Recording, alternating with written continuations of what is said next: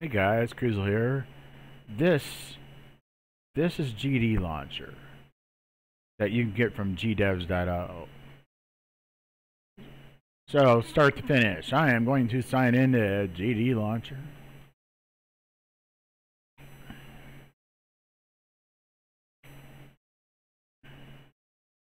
I use the top sign in.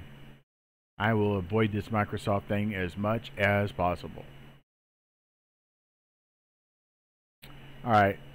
Yes, I'm a developer, so I have lots of packs installed.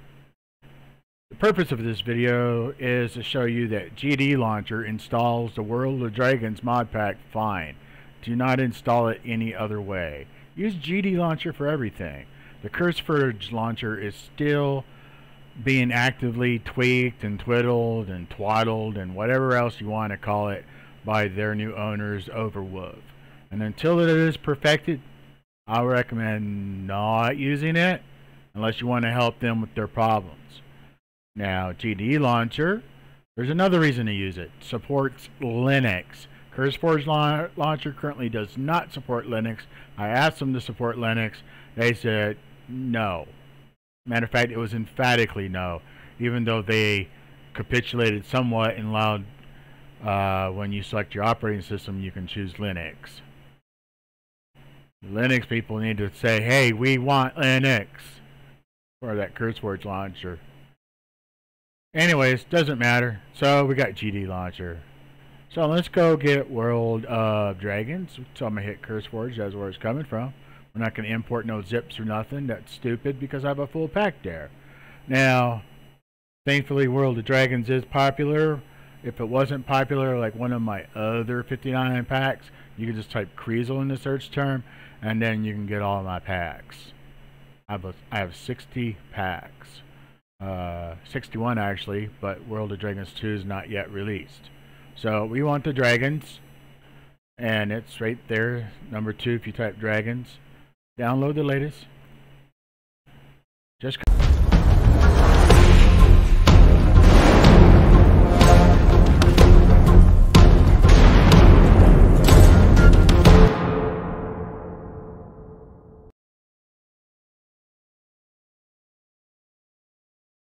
Because that other one came on top. Don't do that. Install this one. This one's mine. World of Dragons. Also, Wadna is mine. World of Dragons Light is mine. Um, mm, I forgot if that's mine. Yeah, that's. I don't know. There's a lot of them that are here. A lot of people are putting dragons in their name now, so whatever. Okay, doesn't matter. So we're installing World of Dragons, and this big old box moves around. Don't worry about it. The slower your system, the longer this box stays on the screen. The more powerful your system, the less it stays on the screen. I have a, an 8-core single-threaded AMD 8350FX with 24 gigabytes of the highest end DDR3 you can buy. It used to be 32, but one stick died.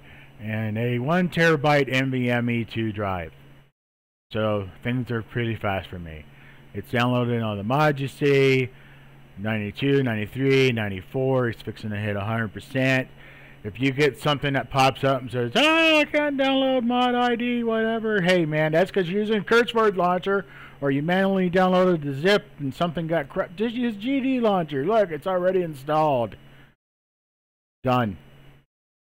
And it's going to load up now.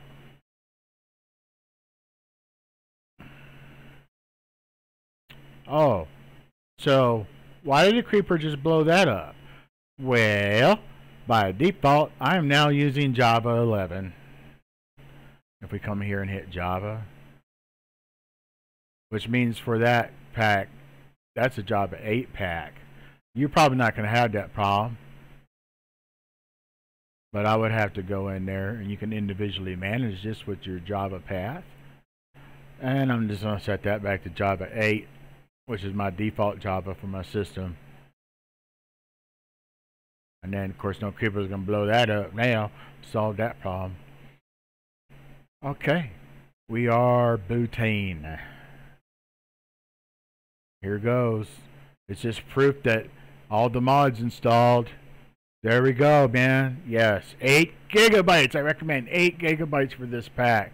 And Java uh, 8 is immediately going to clip off 800 megabytes for handling garbage collection and stuff. Here we go. It is loaded. There's nothing missing. You're using the wrong launcher, man. Use GD Launcher from gdevs.io. It's Golf Delta Echo Victor Sierra dot Indigo Oscar gdevs.io